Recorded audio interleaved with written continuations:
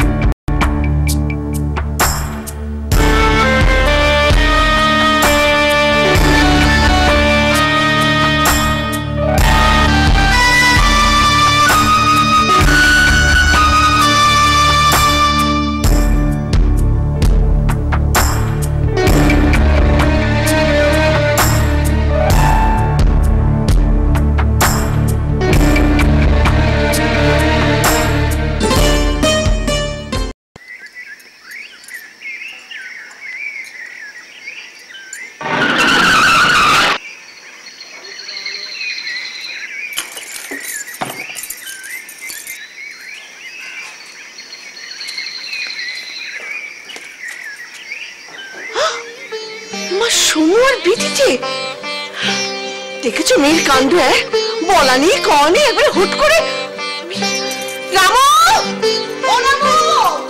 আরে ও রামজিবো! তাড়াতাড়ি এদিকে আয়। দেখ দেখ তোর দিদি যেন এসছে। তাড়াতাড়ি ছুটে যা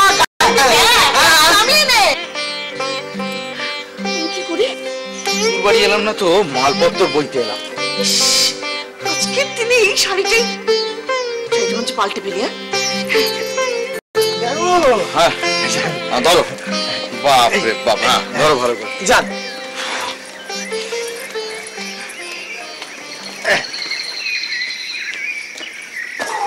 বাপ রে বাপ এতক্ষণে দুঃস্ব অবস্থা থেকে মুক্তি পাওয়া গেল। আগে?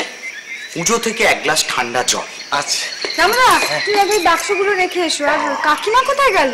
এইখানে তো ছিলেন আবার কোথায় গেলেন ও ভেতরে আছে।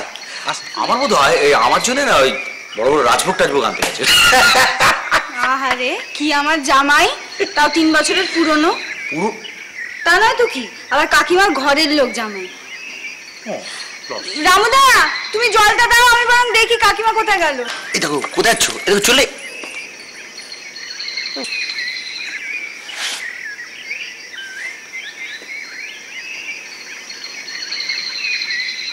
সংসার সুখের হয় রমণীর গুণে। আরে কোথায় গেলে বলো তো তুমি? কি করছ তুমি? এই দেখ না এই শাড়িটা চিরি হয়েছে বাবা এমন ভাব করছ তুমি যেন তোমার নতুন জামাই এসেছে। ভাবো না বাপু তোমার বোন পো এসেছে। আচ্ছা বোন পুই হোক আর জামাই হোক। কলিয়ারির ম্যানেজার তার সামনে কি বাবু এই রেবেলি পোশাকে থাকা যায়? তা বটে।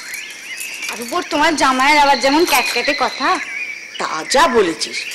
ওর মা কি বলতে জানিস তো? আমার ছেলে বড় হলে অ্যাডভোকেট হবে। ওই রকম অ্যাডভোকেটের মতোই কিছু একটা হয়েছে জানো তো?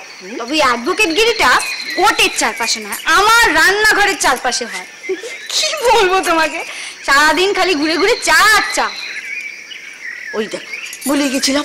যাই তাড়াতাড়ি করে চায়ের জলটা চাপিয়ে দিই। এই তুমি ছাড়ো তো। তুমি শিয়ালকে আর ভাঙা বেড়া দেখিও না। ও রামুদাকে বলেছে জল দিতে। জলটা খেয়ে আগে একটু স্থির হয়ে বসুক। এক মিনিট তো স্থির হয়ে বসে না। তারপর তুমি চা নিমকি কচুরি যা খুশি। দেখেছ? ভুলে গেছি? কি হলো? এই না।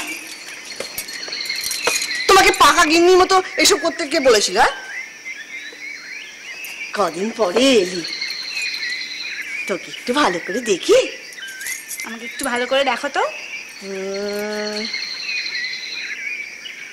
একটু মুটিয়েছিস। একটু মুটিয়েছি। আর কিছু? আর কিছু?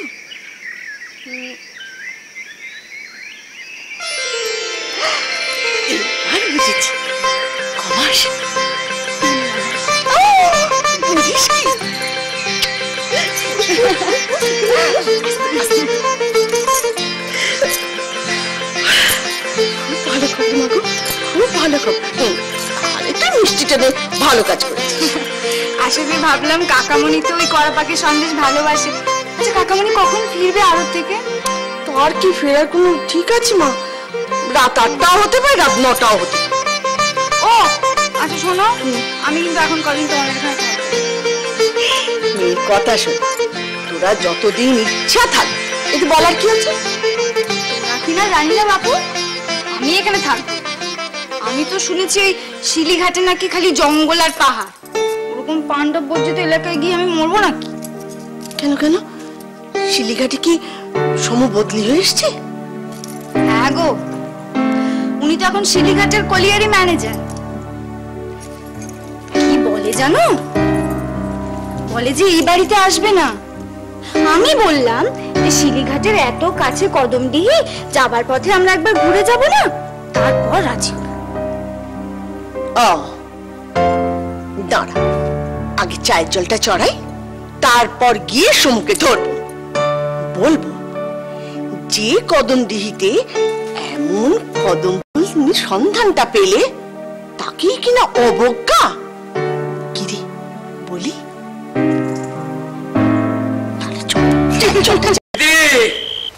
বিধি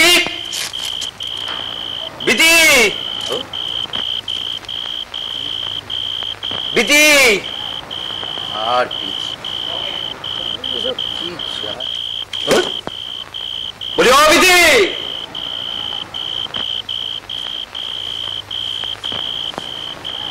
বিধি যাইবু ডাকছিলেন হ্যাঁ।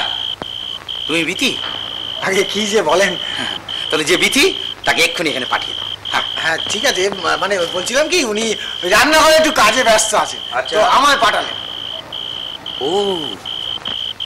উনি ব্যস্ত আছেন ওই জন্য আপনাকে পাঠাবো আপনি ওনার হয়ে প্রক্সি দিতে চলে যাবেন আগে। প্রক্সি বসুন। আগে? বসুন বসবো? হ্যাঁ বুঝবে না বসুন। পৃথিবীর যত ভালো ভালো কথা আছে না সেগুলো সব বসে বসে শুনতে হয়। হ্যাঁ মনে থাকবে? আচ্ছা। রামজীবন দা তোমাকে দিয়ে যদি আমার সব কাজ হয়ে যেত না তাহলে আর আমি ওই বিয়েটা করতাম ঠিকই তো ঠিক তো। তাই তো? তাহলে যিনি রান্নাঘরে আছেন ওনাকে গিয়ে সব কথাটা বল। ঠিকঠাক করে বলবে? হ্যাঁ। যাও হ্যাঁ। আচ্ছা আগে? মুখস্থ করতে করতে যাও। হ্যাঁ বলতে বলতে যাবে। ভুলে যাবে না তো? না না মনে থাকবে। মনে থাকবে তো? হ্যাঁ একদম যাও।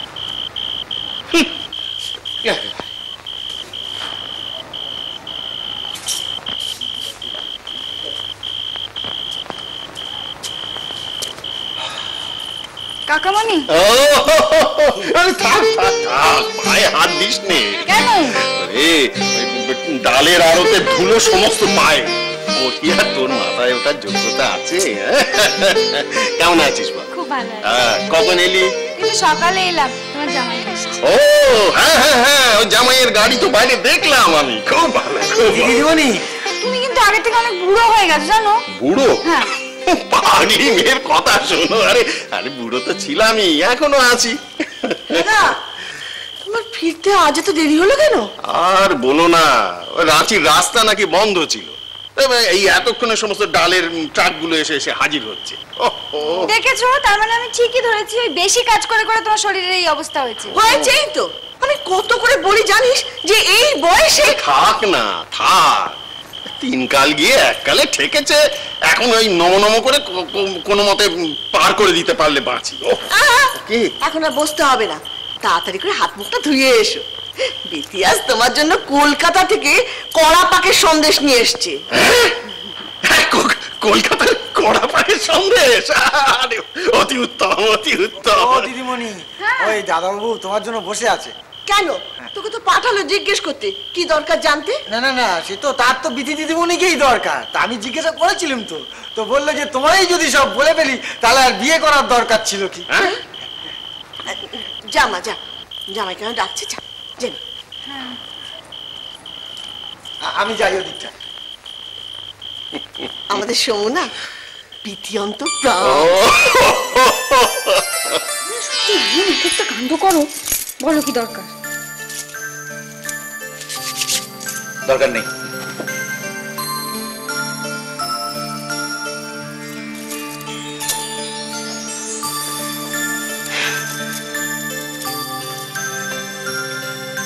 বলো না কি দরকার? কাকামণি এসেছিল কাকামণির সাথে একটু কথা বলছিলাম।